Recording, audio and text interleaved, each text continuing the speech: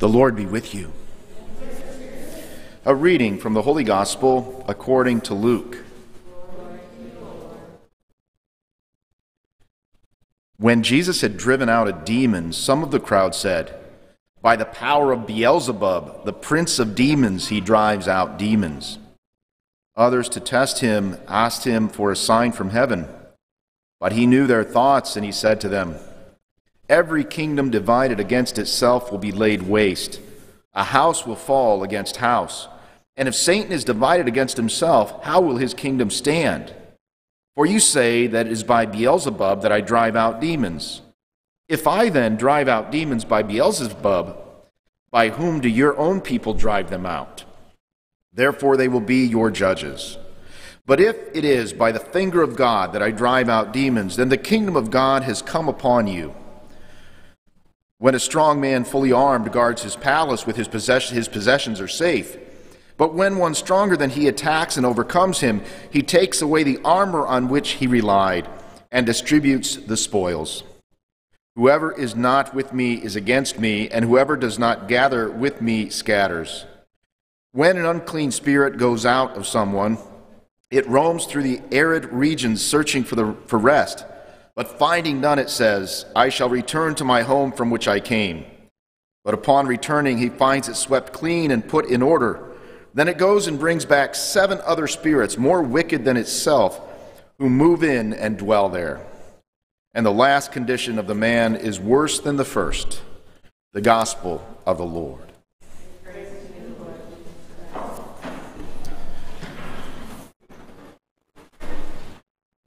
The most important thing we can really do is ask God to come into our hearts. We ask the Lord and His Holy Spirit to fill us. Because when our spirit is filled, there is no room for the devil. When we have baptism in the church, we ask some questions. And they go something like this Do you reject Satan? I do. And all his works? I do and all his empty promises I do. And it's really important for us to reject the enemy.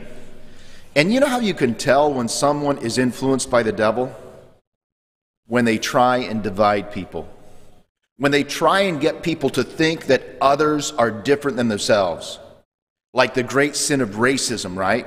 When these people think, I'm better than this other person because my skin color is different.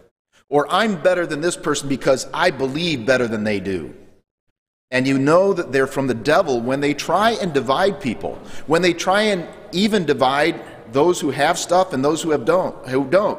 If they say, "Yeah, those rich people, they're bad because they have money, so we need to take it from them."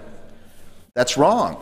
What we need to do is we need to approach those people who have money and say, "Hey, will you share your money with those who have less?"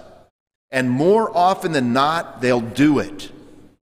You know, you've heard me say that little story, right? Would it be right for me to take your lunch money even if I'm giving it to someone who doesn't have it, right?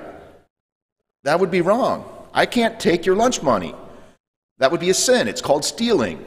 But I can't ask you to say, hey, can you share some of your lunch money so this other person over here can have enough food? But we have people who are influenced by the devil who want to say, I can take from the rich and then I'll give it to the poor people and that will make it all okay. That's wrong. We can't do that. That's not how we are as Christians. We need to respect people's property, we need to respect what others have. But if we're blessed with having a lot, then we have a moral obligation before God to share that with other people, to let our heart be moved to conversion in the gospel today, we hear how Jesus is casting out demons, and they're jealous. They're saying, oh, he only casts out demons because he's one of them. And Jesus just says, that would be stupid. Why would I hurt my own team member, my own teammate? That doesn't make any sense. And it doesn't. Jesus loves us so much. But you know what? We can only do that if we're open to God's Spirit. And God won't push himself on anybody. You have to ask God to come to you. You have to be open to his ways and say, Lord, teach me. Help me understand what you would have me do. And if you allow the Spirit of God into your hearts, then you will fight for life. You will defend the lives of others. You will look for those who are weak and vulnerable and come to their defense.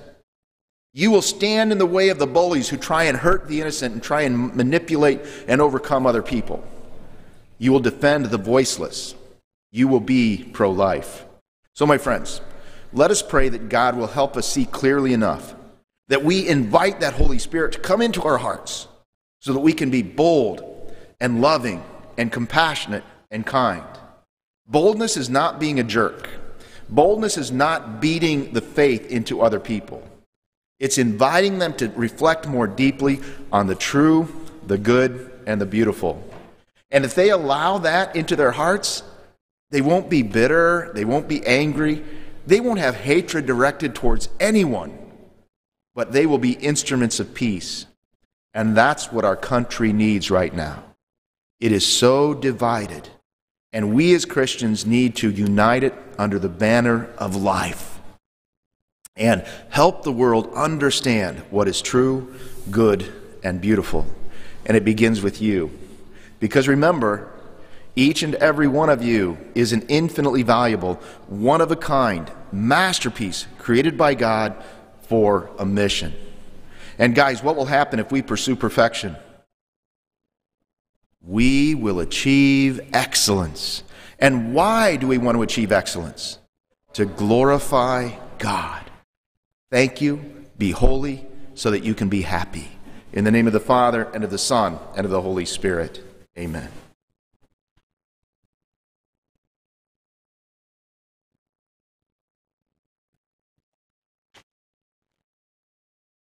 We pray for the church, that she may be a light to the nations and a guide to all peoples. We pray to the Lord. For all nations throughout the world, that they may know and serve the common good and not be motivated by greed and self interest, we pray to the Lord. Let us pray for the upcoming elections that all people who will vote will have an enlightened conscience and will vote to defend life, be converted, or lose their power, so that we can have leaders that respect life, religious liberty, and all that's in accord with natural law. We pray to the Lord. For an end to this pandemic, we pray to the Lord for all the sick and the suffering, that they may be healed and that God may console them, we pray to the Lord. Let us pray that all those who are planning violence or destruction of any kind, that their plots be uncovered, and that they not resort to that violence and harm that causes so much pain in our society. We pray to the Lord. Heavenly Father, hear the prayers of the people gathered here before you, those spoken and those kept in the silence of our hearts. Answer them insofar as they meet our deepest needs and are in accord with your holy and divine will. We ask this through Christ our Lord.